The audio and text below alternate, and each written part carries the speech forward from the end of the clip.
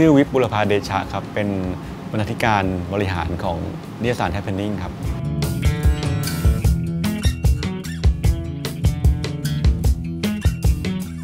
Happening เริ่มต้นจากการทำ magazine ครับ เราเป็นทีมงานที่อยากสื่อสารเรื่องเกี่ยวกับแวดวงบันเทิงกับศิลปะ แล้วก็ทำมาเป็น magazine แล้วก็เลยเริ่มจากทำอีเวนต์ก่อนทำเป็นอีเวนต์แบบ music festival อะไรเงี้ยนะฮะ แล้วก็ทำไปทำมาก็เริ่มมี connection ทั้ง ค่ายเพลงสำนักพิมพ์เล็กๆ ทั้งแบรนด์เล็ก ๆ ที่มาออกบูธในงานเราอะไรเงี้ยแล้วก็เลยมีไอเดียว่าเอ๊ะคงจะดีนะถ้าเรามีร้านของเราเองด้วยที่จะให้ผู้อ่านเราได้มาลองดูลองจับต้องลองฟังงานที่เราแนะนำอะไรเงี้ยก็เลยมีไอเดียอยากเปิดร้านก็แล้วก็เลยได้โอกาสมาเปิดร้านที่นี่ก็เลยตั้งชื่อว่าร้านว่า Happening Shop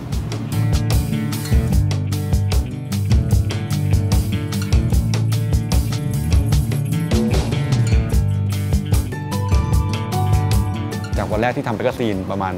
เกือบเกือบ9ปี แล้วก็เปิดร้านประมาณ 4 ปี ก็ถือว่าเรากลายเป็นสื่อที่มีทั้ง magazine ของตัวเอง มีทั้งอีเวนต์ที่จัดเรื่อยๆ แล้วก็มีร้านของตัวเอง ก็เลยเป็นการพูดคุยกับแฟนๆของเราในแง่มุมหลากหลายครับ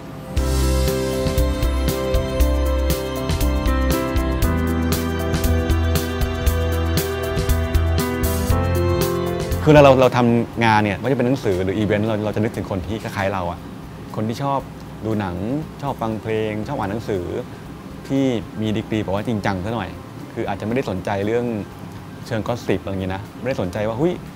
เอ่อคนนี้กำลังดังนะอะไรเงี้ยแต่สนใจในแง่ที่ว่าความคิดมันที่อยู่เบื้องหลังของงานเหล่านี้มันคืออะไรเอ่อสนใจที่จะตีความนิดหน่อย อาจจะไม่ถึงขั้น hardcore มาก แต่ว่ารู้สึกว่าให้ค่ากับงาน ศิลปะและบันเทิงเหล่านี้พอสมควรอะไรเงี้ยก็จะเป็นคนกลุ่มประมาณนี้ยฮะซึ่งมันก็มีทั้งเด็กวัยรุ่น ทั้งคนทำงานทั้งผู้ใหญ่อะไรเงี้ยเพราะฉะนั้นเวลาเราจัดงานอีเวนต์ก็จะเห็นเห็นหน้าคนเราเนี่ยก็คนที่มาก็จะหลากหลาย แต่เป็นคนที่คุยกันรู้เรื่อง คุยกันสนุก แล้วก็คุยกันเรื่องหนังเรื่องเพลงนี้คุยกันได้ยาว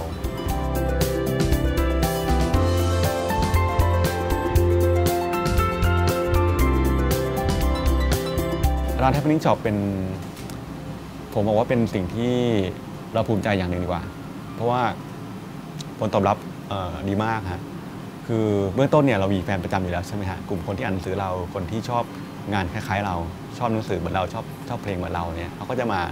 มาซื้อหามาเลือกดูสินค้าศิลปินอินดี้หรือตอนนั้นพิมพ์ที่อยากเปิดตัวหนังสือเขาจะมาเอามาส่งที่ร้านเราหรือว่าเปิดตัวที่เราอะไรเงี้ยก็คนกลุ่มนี้ก็จะมา ซึ่งหรือว่าเป็นแฟนประจำก็จะคุ้นเคยกับร้านเราอยู่แล้ว แต่ว่าปรากฏว่าเราได้ขาจรนะครับเพราะด้วยทำเลที่ตั้งอยู่ที่ออสินกรุงเทพ ซึ่งเป็นที่ที่เป็นใจกลางเมืองแล้วก็เป็นมันก็เป็นจุดศูนย์กลางของแหล่งศิลปะในกรุงเทพเหมือนกัน ก็จะมีชาวต่างชาติเดินเข้ามาด้วย ซึ่งทำไปทำมาเนี่ยก็ผมผมว่าครึ่งครึ่งๆนะฮะที่เป็นแฟนแฟนเดิมของเรากับกลุ่มขาจรที่เป็นชาวต่างชาติ หรือคนที่เดินผ่าน ก็กลายเป็นว่าร้านก็ทำให้เอ่อเป็นจุดหนึ่งที่แนะนำ magazine เราให้เราให้เราดังขึ้นไปด้วย ให้คนรู้จักมากขึ้นด้วย คนต่างชาติก็เริ่ม อ๋อ นี่คือร้านที่เป็นของ magazine ชื่อ Happening ไงอะไรเงี้ย มีคนญี่ปุ่นเอาไปเขียนบล็อกอะไรเงี้ยฮะมีสื่อต่างประเทศเขียนแนะนำถึงอะไรเงี้ย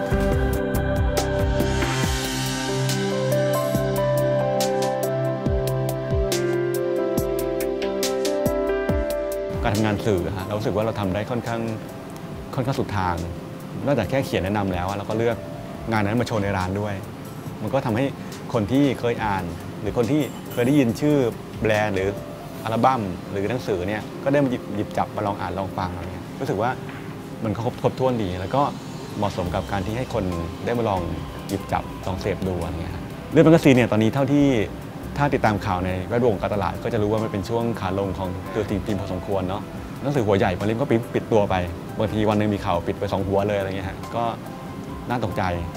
เอ่อแต่ Happening ก็มีการปรับตัวพอสมควรแล้ว อย่างช่วงที่ผ่านมาช่วงแรกเราเป็นหนังสือรายเดือนใช่ไหมฮะเราก็รู้สึกว่าเราต้องเน้นอัปเดตเพราะมันชื่อ Happening อะไรเงี้ยแต่ช่วงหลังเราเราเริ่มสังเกตว่าเฮ้ยจริงๆแล้วหนังสือมันขนาดเราเองที่เป็นคนทำหนังสือยังอ่านไม่ค่อยทันเลยฮะเวลาเราไปซื้อตามแผงนะรู้สึกว่าคนอ่านหนังสือน้อยลง แล้วก็แต่ไม่ได้หมายความว่าเขาอ่านคอนเทนต์น้อยลงเออเรามองว่าสำหรับแมกกาซีนแล้วเนี่ย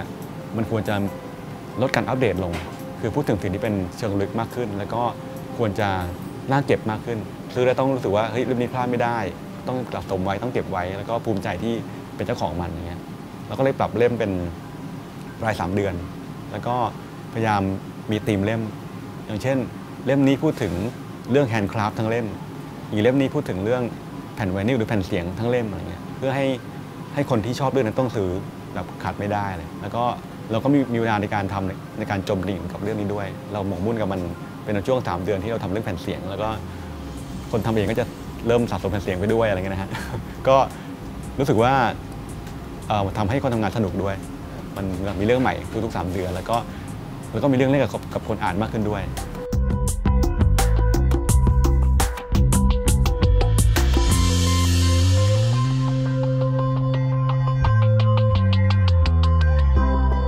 การทำร้ายมันทำให้เราได้เจอกับเพื่อนใหม่ๆครับ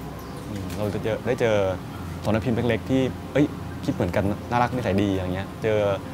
คนที่เป็นดีไซเนอร์รุ่นใหม่ที่ทำออกแบบนาฬิกาออกแบบสมุดอะไรเงี้ยแล้วก็ในในมุมหนึ่งบางทีเราก็เราพบว่าเขาเป็นเด็กๆที่แค่ทดลองทำแบรนด์ของตัวเอง มันก็ต้องมีการแบบว่าสื่อสารกันบางทีก็ต้องสอนให้เขาเขียนบินอะไรเงี้ยน่ารักดีฮะซึ่งเรื่องเรื่องมันเป็นเรื่องที่แบบเป็นความสัมพันธ์ระหว่าง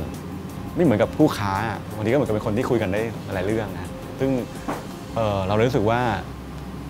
อย่างน้อยสุดเนี่ยไม่ว่าจะมีอุปสรรคยังไงก็ตาม หรือมันมีปัญหาเรื่องความเยอะความน้อยความวุ่นวายอะไรเงี้ยแต่มันก็มีข้อดีที่เราได้เจอคนน่ารักเยอะๆพอคนน่ารักเนี่ยปัญหามันก็ไม่ใช่เรื่องที่น่าเครียดเสมอไปก็มาคุยกัน ก็มาปรึกษากันอะไรเงี้ย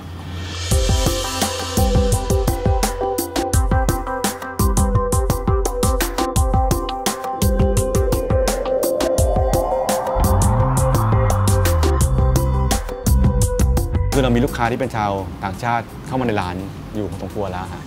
โดยปริยายตั้งแต่ก่อนที่มันจะเปิดเนี่ยเราก็เป็นเหมือนกับเป็นที่ที่คนต่างชาติคนมาเลเซียคนสิงคโปร์หรือคนญี่ปุ่นอะไรเงี้ยฮะเขาจะเริ่มรู้กันบ้างไม่มากก็น้อยว่าร้านนี้เป็นร้านที่มันก็เป็นแหล่งรวมของดีไซเนอร์รุ่นใหม่ หรือคนที่ทำงาน art หรือ commercial art รุ่นใหม่ ๆ ในเมืองไทยอยู่พอสมควร เพราะฉะนั้นสิ่งที่เกิดขึ้นคือว่าก็จะมี สื่อที่เป็นสื่อต่างประเทศบางคนก็จะเขียนถึงเราในในแง่นี้ฮะซึ่งมันก็เป็นความตั้งใจของส่วนหนึ่งที่เราอยากจะเป็นเป็นฮับเล็กๆอยู่แล้ว ที่จะที่จะรวมผู้คนเหล่านี้เอาว้ด้วยกัน ซึ่งตอนนี้พอ AEC เปิดปุ๊บเนี่ยการไปมาค้าขายมันไปมาหาสู่กันมันคล่องมากขึ้นเนี่ยมันก็มันก็อาจจะประจวบพอดีกับสิ่งที่เราเป็นอยู่แล้วในในช่วงก่อนหน้านี้ฮะเราคาดหวังหลายทางนะฮะทางหนึ่งคือเราอาจจะได้เป็นส่วนหนึ่งที่ทำให้ดีไซเนอร์ชาวไทย ไปสู่สายตาชาวต่างชาติ ผ่านการที่มีสื่อหรือมีคนต่างชาติเดินเข้ามาที่ร้านเราได้เห็นของได้อ่านหรือได้คุยกับพนักงานว่านี่คืออะไรเป็นยังไงอะไรเงี้ยหรือเห็นใน Facebook ก็ตามนะฮะความเป็นไทปนิ่งที่เป็นองค์กรหนึ่งที่พยายามสื่อสารเรื่องนี้เรื่องแวดวงดีไซน์ เรื่องศิลปะเรื่องบันเทิงเเรื่องความคิดสร้างสรรค์มันสามารถพูดไปได้ไกลกว่าแค่ในเมืองไทยอะเราก็อาจจะเราก็จะลองทำดูยกตัวอย่างเช่น ไปเปิดสาขาที่ต่างประเทศไหมอะไรเงี้ยก็เคยคิดกันดุๆเหมือนกันนะฮะ ก็เป็นสิ่งที่เราตั้งตั้งความหวังเอาไว้ว่า ถ้ามีโอกาสก็จะทำ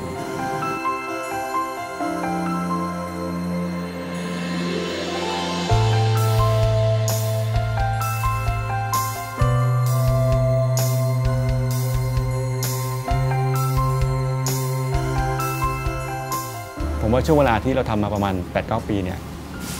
คือตอนแรกก็มีคนที่ที่บอกว่าเอ้ยมันยากนะ เอาเอาเรื่องศิลปะมาเป็นมาทำหนังสือเกี่ยวกับศิลปะอะไรเงี้ยมันดู เป็นเรื่องที่น่าจะลำบากนะฮะแต่ว่าไอ้การที่เราทดลองมาตลอดเวลา 8 ปีก็มีทั้งลองผิดลองถูกนะฮะบางทีก็รู้ว่าเอออย่างทางนี้ไม่เวิร์กไว้ยอะไรบางทีก็เออทางนี้ใช่เออแล้วก็เราค้นพบอย่างหนึ่งว่าเออคนในแวดวงเนี้ยไม่ว่าจะเป็นแวดวงศิลปินเออคนทำเพลง คนทำหนังอะไม่รู้นะแต่ว่าส่วนที่ที่เรารู้จักเป็นเป็นคนน่ารักนะฮะเออเป็นคนที่พร้อมที่จะเออช่วยเหลือกันอืมซึ่งซึ่ง ไอ้ความรู้สึกแบบนี้มันทำให้เรามันกับมีเพื่อนแล้วก็มีแรงในการทำงานนี้ไปเรื่อยๆ มันเป็นคีย์ที่ทำให้เรารู้สึกว่าเราทำต่อไปได้